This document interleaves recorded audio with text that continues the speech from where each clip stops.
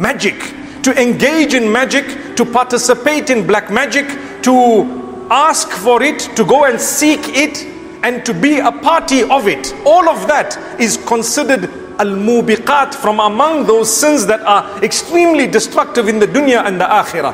Why? The Prophet Muhammad says, Man sahara faqad ashrak.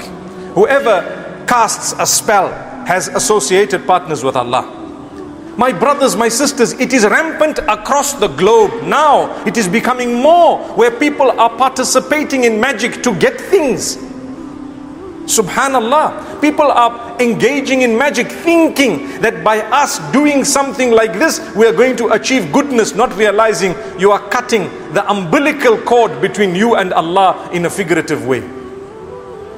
May Allah subhanahu wa ta'ala protect us. Never ever resort to magic or some superstitious dealings in order to achieve something or in order to destroy something. Never do that. It is too costly. It will cost you your Jannah. It will cost you your relation with Allah. Don't do it. Don't go to someone to say, I have a problem. I want to marry a married woman. I need you to cast a spell so that they are divorced. La hawla wa la quwwata illa billah. People are doing this. And you know what? They are not happy after that as well. Because shaitan dangles a dirty carrot, not realizing that you will achieve nothing from this. Besides, shaitan telling Allah, you see, I told you.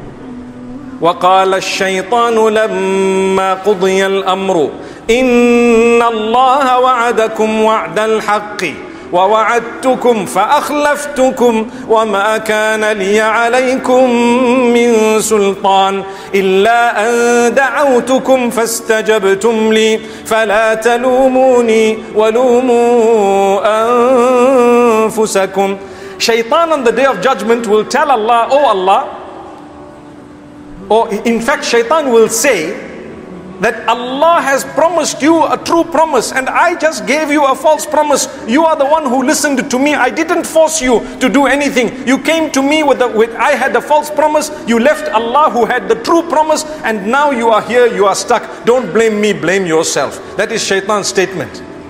So my brothers and sisters, we need to talk about this. Magic is something that if a person participates in it in any way, shape or form, they are compromising their relationship with Allah and even destroying it.